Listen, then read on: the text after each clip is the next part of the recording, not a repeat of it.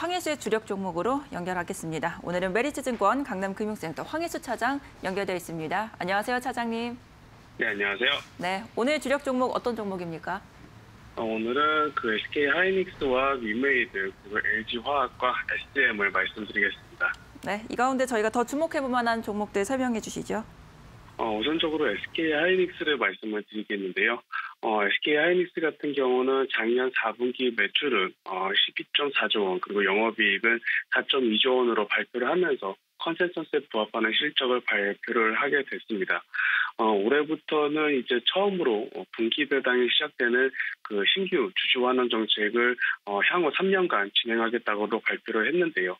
이에 따라서 주주 친화 정책이 강화가 되면서 어, 대외적으로 우호적인 수급 전망이 어, 중장기적으로 이어질 가능성이 높다라는 점이 긍정적이다라는 점을 말씀을 우선적으로 드리겠고 어, 펀더멘탈적인 측면을 살펴보자면은 어, 그동안에 그 M&A를 통한 그 비용은 다 이제 비용 처리가 됐고 올해부터는 이 회수가 본격적으로 될 것으로 전망이 되고 있는데요.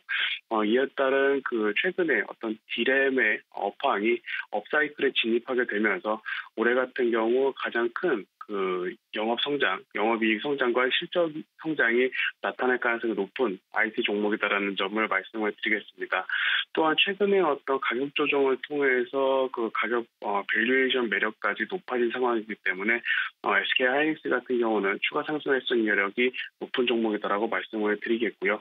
어, 두 번째로는 LG 화학을 말씀을 드리겠는데 음, LG 화학 같은 경우는 그 최근에 LG 에너지 솔루션 상장 그 배터리 사업 독립으로 인한 그 LG 에너지 솔루션 상장을 하면서 어떤 자회사 자회사 상장으로 인해 그 배터리 투자비 제고로 어, 어떤 비배터리 부분의 투자 확대가 이어질 가능성이 높게 나타나게 되면서 어, 어떤 어느 정도 리스크가 해소되었다는 점이 긍정적이다라고 말씀드릴 수가 있겠습니다.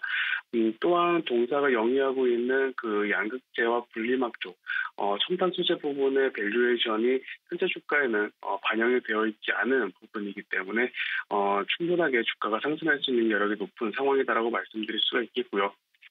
장기적인 측면에서는 어, 바이오 산업 쪽 어, 특히 2025년까지 1조 원을 추가 투자해서 그 신약을 두 개 이상 보유하겠다고 발표를 했었는데 이런 성장 모멘텀을 봤을 때 어, 현재 가격 구간은 어, 저평가되어 있는 가격 구간이다 이렇게 말씀을 드리겠습니다. 네, 오늘 말씀도 감사합니다. 감사합니다.